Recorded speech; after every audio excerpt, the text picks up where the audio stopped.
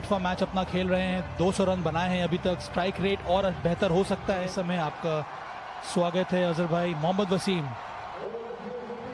243 run. Consistent होना चाहिए क्योंकि अभी जैसे जैसे मैचेस आते जाएँगे माई एमिरेट्स के लिए उनका विकेट पे होना।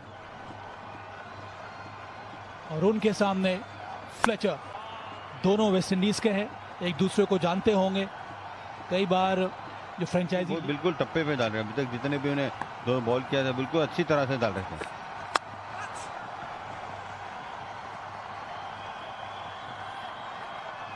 ज़ोर से मारने का प्रयास बाहरी किनारा हवा में गई गेंद वहाँ पर डीप थर्ड मौजूद है। गति का फ़ायदा यहाँ पर मिला फ्लेचर को। देखिए बिल्कुल वो बॉक डाउन हो गए थे इसी वजह से मेरे ख्याल में उनको चांस लेना ही पड़ा था क्योंकि जब चांस लिया जब बॉल इतना तेज कर रहे हो अगर एज भी लगेगा तो ऊपर से चले जाएगा क्योंकि ज़ोर से बैट फिर आया और थर्ड मैन एकदम फाइन ये शॉट सही है जगह बनाई थी मोहम्मद वसीम ने। ज़्यादा इंतज़ार किया नहीं मोहम्मद वसीम ने।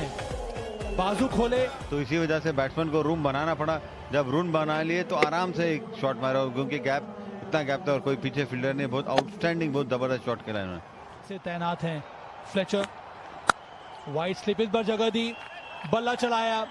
जगह दीजिएगा तो फिर नतीजा यही होगा। फ्लेचर थे तैयार। और देखिए मैं एक ही चीज़ यहाँ पे बोलना चाहता हूँ कि जब आप इतने फास्ट बॉलर होते हैं 140 के ऊपर जब डालते हैं अगर आप रूम देंगे तो बैट्समैन के लिए बहुत ईजी होता। अगर आप फ़र्स्ट ओवर में अगर आप देखेंगे तो मर्टन डिलांग ने जो बॉलिंग किया उनको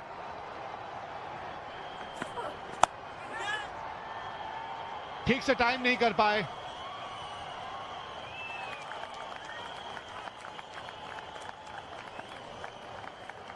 हर एक रन जो आप फ़ील्ड में बचाते हैं समझिए वो रन आपको कम बनाना मेरिट के ऊपर काफ़ी प्रेशर आ गया क्योंकि देखिए उमूमन जब माई मेरिट की टीम खेलती है तो अच्छा स्टार्ट उनका बहुत अच्छा मिलता है मेरे ख्याल समटाइम पैंसठ तक भी गया है पचास तक भी गया बट लेकिन यहाँ पे पचास के आसपास रहता है head to head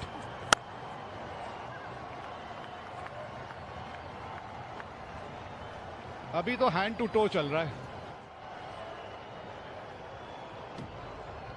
cross seam से डाला गया यॉर्कर। फुल टॉस था। बल्ले पे आके गेंद लगी। बल्ले का चेहरा थोड़ा सा बंद हुआ तो उस गेंद की दिशा बदली।